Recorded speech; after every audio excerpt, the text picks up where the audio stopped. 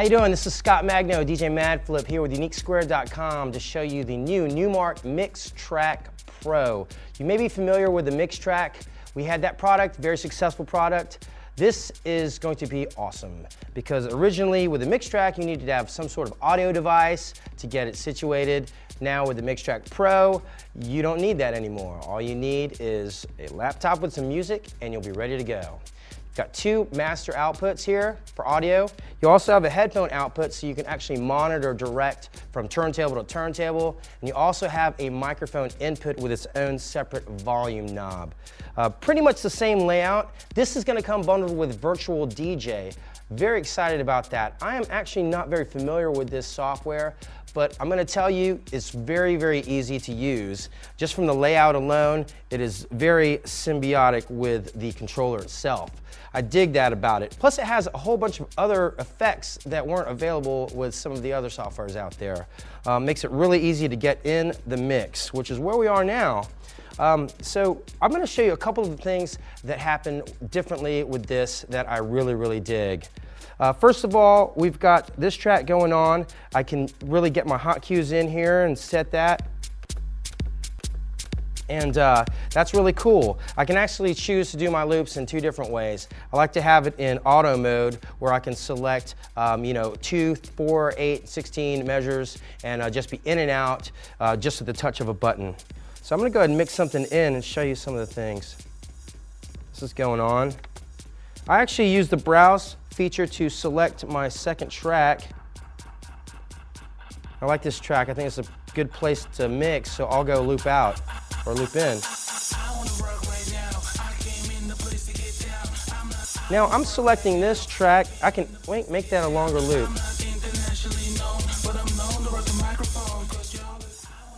Now I've got this mixing. I can cue it up using my headphones now that I've got that ability. speed up. I'm using my pitch bend just to get it right about perfect on there. But you know something? I can actually sync it to get right on because I want to be perfect in my mix.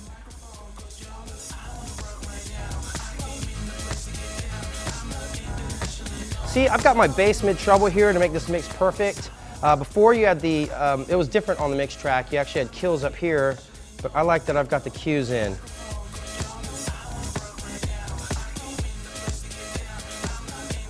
I'm going to use one of my break effects on the out here. Uh, this is actually a, uh, it's a backspin.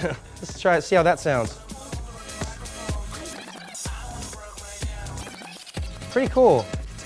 Takes it right back into the mix too. I did not lose my mix there. MixTrack Pro, real simple to use. Um, I think I'm very impressed with this. This controller has every feature that I need for uh, my performances, um, you know, on, on, on stage. It has, uh, you know, good mixer, good responding turntables. A scratch there too.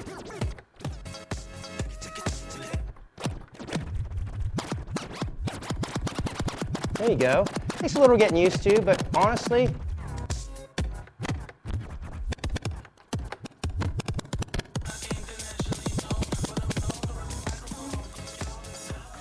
pretty good. I can actually sync that up real quick. I'll show you all just how quickly that can happen.